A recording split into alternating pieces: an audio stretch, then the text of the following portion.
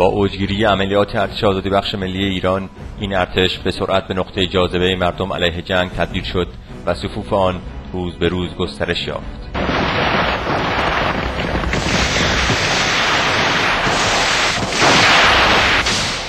ارتش آزادی تا قبل از آتش بس در تیر ماه 1367 بیش از 100 عملیات علیه نیروهای سرکوبگر و جنگ افروز رژیم انجام داد. که ضربه بسیار سنگینی به ماشین جنگ و سرکوب آن به حساب می آمد.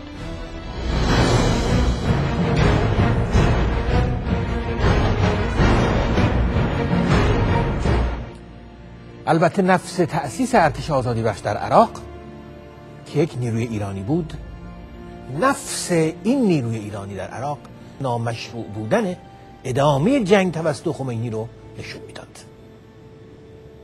سربازایی که به زور به میادین جنگ اعزام می شدن این رو میفهمیدن که دیگر این جنگ ضد میهنیه. و دیگه انگیزه برای جنگ نداشتند. از طرف دیگه حضور مجاهدین در کنار مرز به اونها روحیه می‌داد به اونها امید تازه‌ای به مردم ایران می‌داد. چون هم مقاومت و هم رهبری اون مقاومت رو در دسترس می‌دیدند. و هم چشماندازی رو برای اینکه این جنگ ضد میهنی پایان بیابه و صلح استقرار پیدا کنه بنابراین بی دلیل نبود که هزاران جوون ایرانی برای پیوستن به مقاومت به منطقه مرزی سرازیر شده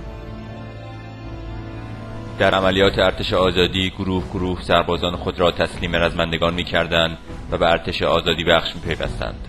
این ضربات سنگین بر پیکره رژیم در سال 67 به عملیات های جبهی بزرگ ارتقا یافت.